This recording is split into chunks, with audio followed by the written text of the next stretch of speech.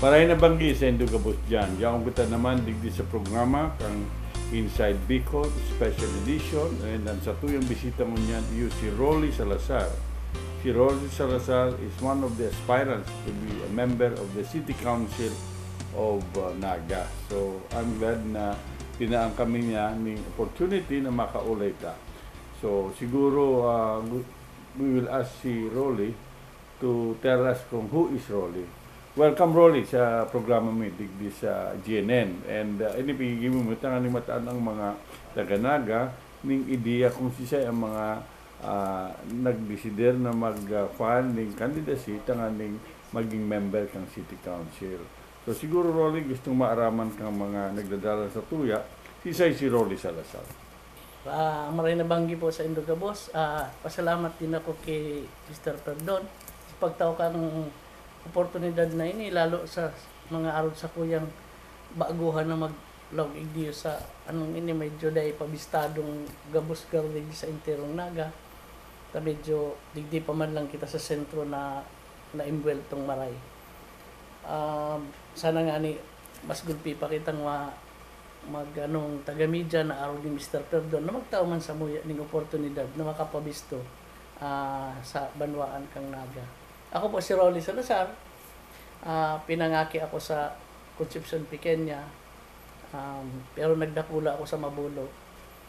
Um, kaya nasa Mabulo ako, duman ako nagklaseng elementary sa Tabuco Elementary School, duman ako nakagraduar ng elementarya.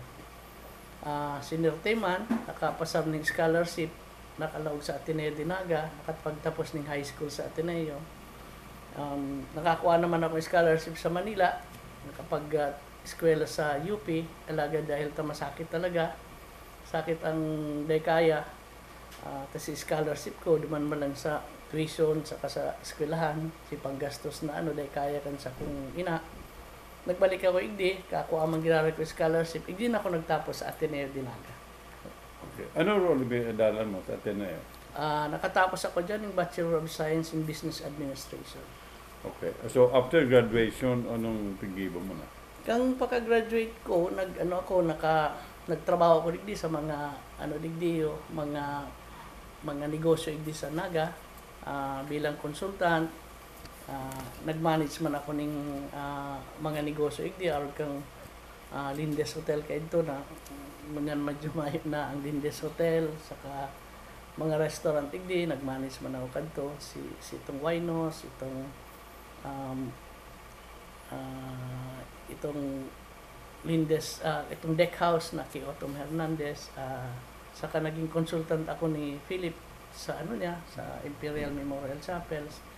Ah, pero pagkatapos kay ito, ah, nakalawag ako sa gobyerno na imbitaran ako kay itong time na nanggana si Cory Aquino as president na maglaog niya sa serbisyo publiko.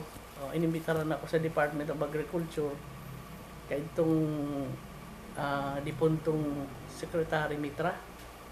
And ako ang pinakapot niya kang programang, pinakainot na programa sa Pilipinas kang Rebel Returnee Program na pig-set up ni sa Mataorok. So after sa government, ah, nagbalik girari ako sa private sector. Nakalawag ako sa ano sa Phil Philam plans. Ah, pigpadara ako sa norte.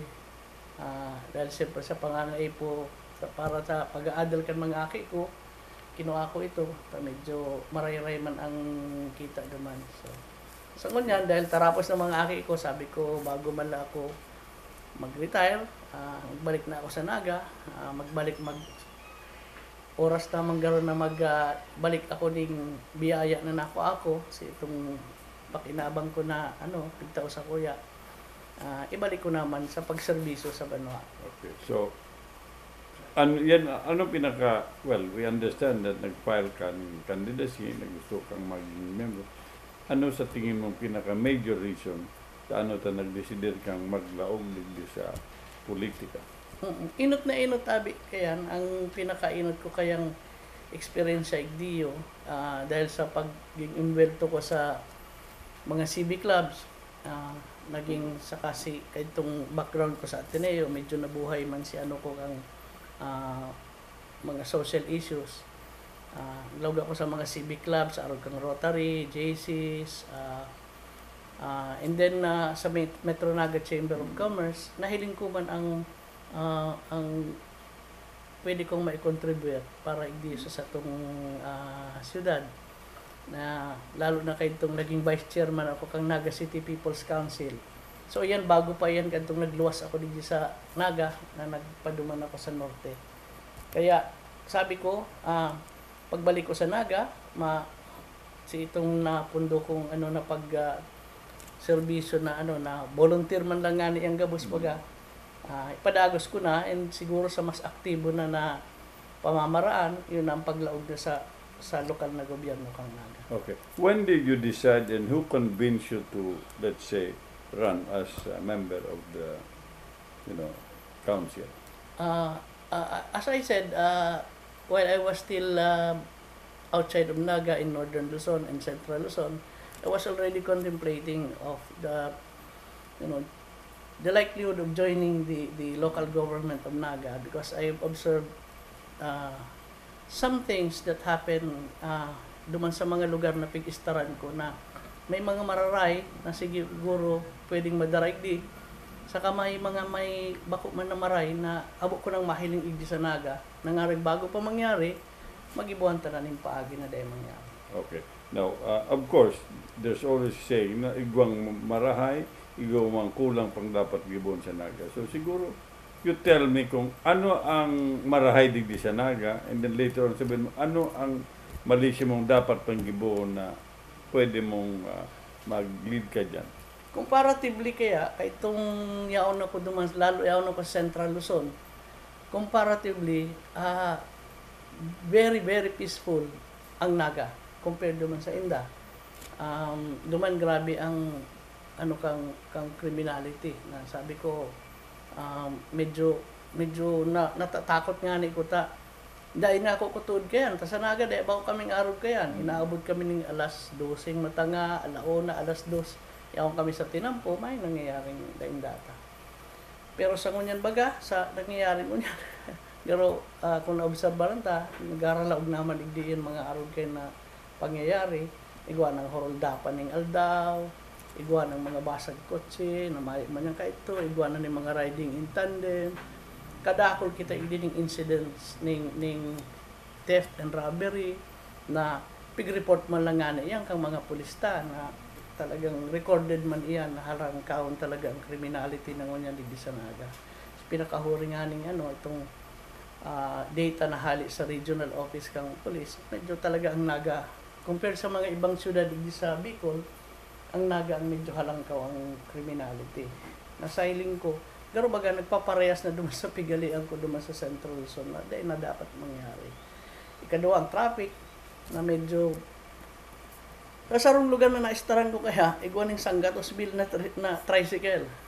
So, matubod ka mo sa dae. Sabi nga, igisa ko, igdi nga sa naga, mga 5 mil lang. No? Ah, ang duman, sanggatos mil. Sa kabanatuan, yan ang tricycle, ah, ah, tricycle ah, center of the Philippines yung Sanggatos Mill na rehistradong tricycle. No? Alagad duman, um, sa kadakulang kang tricycle, grabe man ang traffic. Pero ang traffic duman, dahil nagtutukod, araw kang traffic, hindi. Ang traffic hindi sa to, nagtutukod. Pero EDSA, tukod siya dahil naghihiro. Siguro kay Puan, uh, hilingon na yan, and uh, maano tayong experience sa ibang lugar kung paano yung nakinibo na medyo maray-ray ang dalagan kang traffic. Na, maski nga ni bakong gayong makaskas, pero nagdadalagan. So you mentioned of two issues, no? Peace and order and traffic. Okay. Ano sa tingin mo naman ang pwedeng maginibo looking into this two major problems? Ah, sa peace and order, ang pinakadakulang bagay ka iyan, tawanan taning kusog. Itong talagang ah, nakamandato na magtrabaho ka sa itong peace and order. Yan ang kapulisan. No, ang kapulisan ta dapat tataan taning maray na suporta hali sa syudad. Bako lang informa ning ning ano ning ning pakiulay or whatever kung ano man na ano. Kundi itong pagtaon ning mga kagamitan, pagbugtak ng mga tamang kaipuhanan ninda sa pagsuporta kan sa indang mga pangangaipo aron kang gasolina, aron kang sabi nga hindi kaipuhan da pag riding in tandem ang simbag kayo, motorsiklo man para sa ano, na dapat tabangan tasinda. Dahil ang pag-mantener uh, kampasi orden, eh, day, day man dapat yan pigkakaputan tang mga ordinaryong ah, ano ta pag pag kinaputan ta pag ah, sugpo ning pasi or ning, kriminalidad baka sa pagpaagi yan kita naman na maging kriminal so pakusugon ta ang pulis ah, ano ang tasinda ning tamang suporta and ma- magigibo yan sa paagi ning mga resolusyon mga ordinansa nagigibuhon dyan sa syudad Okay. Well, nuwarin mo nasasabi na ang prison order talagang grabe na ang problema. O Anong magiging gauging factor mo kaya? Ako kaya, tahali ako ning naga, hali ako sa very peaceful na sitwasyon. Sa kuya, sarong pangyayari lang ning ning horondapan ning aldaw, sobra na yan. Saro lang na mangyari, pero sobra na yan. Kaya itong yaon ako duman sa ibang lugar, dahil ko nasabihin kung anong lugar na ito, anong nangyayari duman halos every week may nangyayari nga ron kaya, may karnap pa nga ni, taduman kaya, kadako lang tinampo, madali ng dulagan. Ah, may mga Bicolano man duman akong nakaulay na mga kaibanan. Um, duman, halos ordinaryo nangyayaring aron kayan. Ah, nahabo ko digdi yung sa, sa kuya, sabi ko, nangyayari di ordinaryo, okay lang, matutud ako digdi. Pero kung sa naga nangyayari, ang garo day ko tuod. They say that uh, that's part of progress ang mga araw ng pangyayari.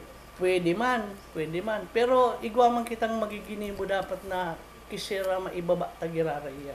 Maibaba tagirara. Dahil talaga rin maibabalik sa arugan si dati. Ta, sinabutan ko kayong katong panahon, ang nagaba ko pang arugan ni Kadakula. Ngunyan garo ang population, population ta, mga almost 200,000 na. Pwede na kita mag-highly urbanized city. Ah, kay ito kaya, kanya akong kami sa Mabulo, halos birbiris tuwang kami. Kadto, igwaning bagan siya na pigaapod. Pag may naglakaw-lakaw dyan, naba kung taga duman sa muya, pigbabagan siya yan. No, ta, dahil man, dahil kabisto, anong tuyo mo digdi, anong ano mo. Ngunyan, ah, sarong sarong kalye siya na magdiferensya sa ino, dahil mo nabisto. So, paminsan nga rin, katayin mo na dahil mo kabisto. So, iba ang sitwasyon. So, sabi ta, darang ngayon ang progreso. Pero, sa progreso man, pwede man kitang may maginibo na mag-adapt kita duman sa progreso ng pig- sasabi niya na mag-ibo man kita ng mga bagong pagi na kung paano ta mai, mai minimize yan mga bagay na Okay. We will pause for a while. When we return, we shall continue